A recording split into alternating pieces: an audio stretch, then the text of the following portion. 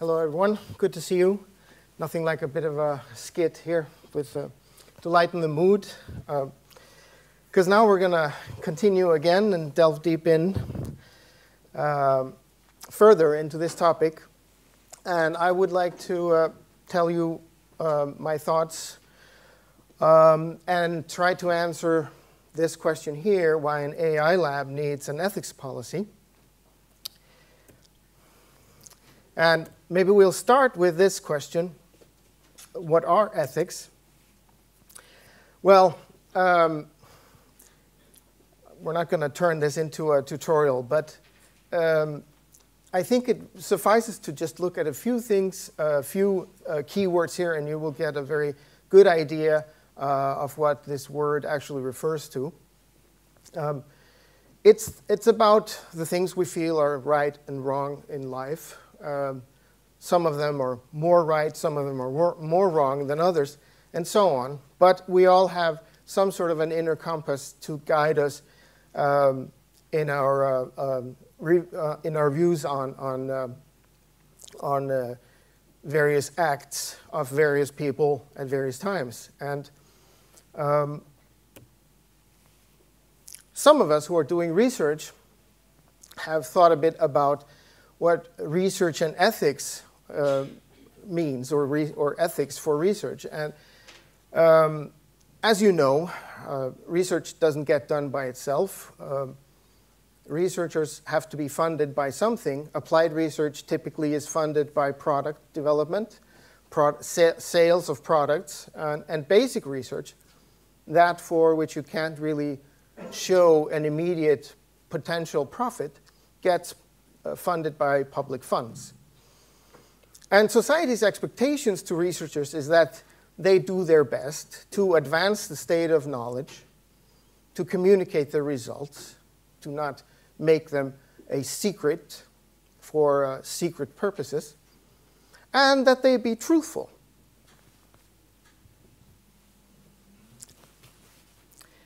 So, an ethics policy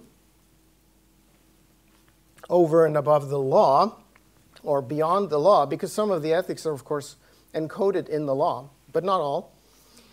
Um, an ethics policy can guide decisions about research methods, can be used to guard the uh, rights of, of the general public, and, and, and especially minority groups, safeguarding the environment, and emphasize points of importance.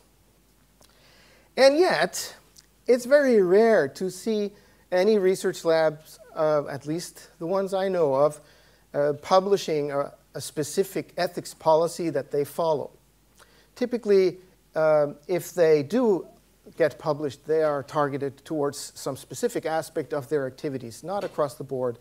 For instance, uh, the way that they do, uh, that they treat their animals, etc. But uh, since we are talking here about software, you might ask, isn't AI just software? So if we have already a mature software industry following uh, the, the law of the land, why do we need to talk specifically about ethics of AI? How would these policies for AI be different? And I, I want to talk a little bit about this. So modern software systems are artifacts. And of course, ethics policies could guide the production and operation of such artifacts and make clear the responsibilities and conducts of those who produce them. Now, uh, there's nothing really new here, um, but there might be a, a, remaining question here.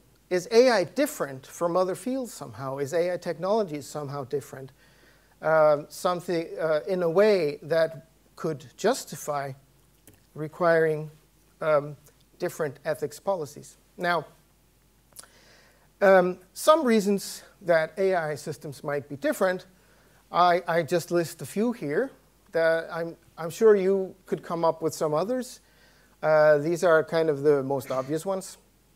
And uh, uh, Noel Sharkey actually went through some of these with, uh, with his excellent examples. But um, immediately it springs to mind uh, are these systems that we build using AI technologies, are they more error prone in some way? Are, do, is their behavior less predictable? Are they more, more prone to faults? Um, do they degrade ungracefully? What, what that means is, you know, if there's a fault, do they completely blow up in your face? I'm talking not literally here, but uh, I think you get my point. AI systems um, could also be of a different kind it could be a different nature. Uh, that could be the reason why we might want to talk about ethics in, in, um, in the context of AI. So um, AI systems, for instance, uh, do they act on their own? Do they have independent thought? Do they have independent goals or ideals? Do they have their own wants and needs? So I, I just wanted to put this up in an Excel spreadsheet so that we can just track this very carefully. Um, I, we can go very quickly through the first ones because uh, all of these are, in fact, true. And it's all because of complexity. AI systems, to justify that moniker at all, will have to do more complex things than your traditional uh, software systems. So yes, we can, we can say this, but does that make them very different from software systems in general? I'm not so sure. Well, possibly, but not their nature, perhaps. Um, going a bit further here, they are uh, capable of independent action. Um, and I've got action there twice, but um, independent sensing. Um, however, and uh, here's the alarm calling.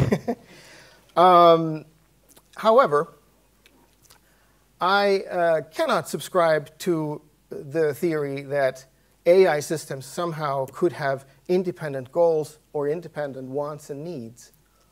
Um, so just to put this in perspective, what we're really seeing here, what is AI? Well, it's really just the march of automation. And you look at the history of automation, we can go back to um, James Watt's governor controlling um, the uh, operation of steam engines, to the mobile phones that we use to take pictures of our family members, uh, using face recognition to control the autofocus and the lighting to automation that decides who lives or dies. So we're really now in the future. There is really um, the this difference between uh, fact and fiction, fiction uh, along these lines is being erased. We have the super aegis, which is on the border of for instance, uh, North and South Korea there to the left, and we have Robocop, um, the uh, robot policeman from that movie. Uh, and these are essentially now the same thing. So we really are in the future. Now, if we really have automation that decides who lives or dies, what about the false positives? What about the innocent people who get killed by these gadgets? Who is responsible? Is it the algorithm? The programmer? The company or government that set this up? Or the legislators that allowed it? Well, could you go to sleep at night knowing that software that you wrote was responsible for killing someone, someone innocent?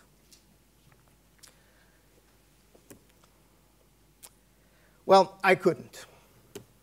Now imagine, if you will, for the sake of argument, here's an AI research lab. Uh, this lab has a wide range of collaborators from industry and academia. It develops uh, a wide range of technologies, has a wide range of output from simple algorithms to systems to, to uh, papers and so on. It has a wide range of funding sources. Among them are, for instance, public competitive grants, as well as private grants, industry contracts, and commissioned prototypes.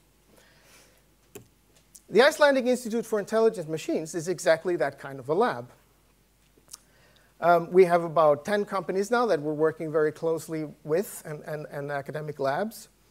Um, we have over 20 projects in progress right now. And we have a mixed funding source. Um, And we really, all of us, believe that AI technologies can have a potentially very positive impact on our lives for all of humankind, not just for an isolated elite or a small segment. And our concerns are basically with a focus on AI and automation, uh, facilitating knowledge transfer for the benefit of society with um, serious amount of public funding, benefits should go to the public. We should avoid abuse of the knowledge we generate, and we should uh, seek the ethical application of the talent, the know-how, and the products we make. So with ethics policies uh, so rarely encountered, and with the majority of AI research, historically speaking, uh, funded by military sources, we decided to make our own ethics policy for peaceful R&D. What's the purpose here? Well, the purpose is to codify our civilian research focus in clear and consistent terms. That's it. And I'd like to go through this very short policy, and I'd like to go through it with you just very briefly. Um, this is it in its entirety. There's a short preamble that I didn't put in here, which you're free to read uh, if you want to grab uh, our um, uh, newsletter on your way out or later today. Um, so uh, the first bullet here um, codifies our aim. It's to create knowledge for the benefit and betterment of humankind. Um, clause 2 has four clauses subclauses. Um, we don't want to participate in any project where um, the intention is to cause bodily injury or several or, or uh, severe emotional stress to any person. Um, we don't want to violate the human rights of any person. We don't want to participate in unlawful activities, and we don't want to work on projects whose purpose is uh, specifically acts of violence or war. So far, so good. This is simple. And I'm surprised not more research labs just say this out loud. Um, jumping ahead, uh, we decided to go one step further uh, by not accepting military funding uh, for our activities. And further, uh, to not work with companies that, or any, any uh, party for that matter, government uh, group or whatever, that um, whose, whose uh, funding has been uh, received for uh, the past five years is more than 15% of the total, total revenue. Now, where's the terminator here? Why aren't I talking about AI going baroque? Oh, going rogue, not baroque. Uh, well, if you remember this spreadsheet exercise we did, I don't think really our immediate concern should be these guys. Because frankly, these belong to the same group as another well known story, which is over 100 years old, and it's based on the same fear mongering. Um, yes, of course, we should be careful with what we do with our knowledge. But um, this is not the immediate threat of AI as a technology. Will it ever be? I don't know. Frankly, anyone who says they do is writing science fiction. So, can the same ethics apply to those who make things as to those who make things that think?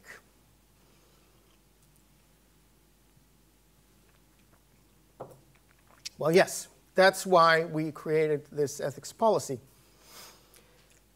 Um, the purpose of this ethics policy is to make crystal clear the civilian research focus of our institute. It helps employees stay away from morally gray areas. It makes the road very clean and clear. If there's any doubt in the, our researcher's mind about whether some project is ethical or, or unethical, this is the place they start. It sends a clear message of a peaceful purpose. And I'm very happy to say this um, it has already made some people very interested in, uh, in, our, uh, in our institute uh, and has made some headlines uh, in a couple of uh, uh, outlets so far since its introduction in August of this year. So, what we need to ask ourselves are some difficult questions. Could this ethics policy help increase emphasis on civilian research focus? Could it help reduce conflict or slow the arms race? Well, I think so. Um, and this is why we have made it very clear on our website that this is an ethics policy we follow. But it's not sufficient that one lab does this which is why we released it under a Creative Commons Attribution 4.0 international license, um, which, which uh, allows you basically to share uh, and adapt this policy. So we really want others to join in this, and we believe that the effects, just like uh, Noel Sharkey's ICRAC team has already made impact on uh, international uh, dialogue. I think we, if we get people with us on this, um, it could have a real impact. And that's all I wanted to say for now. Thanks for your attention.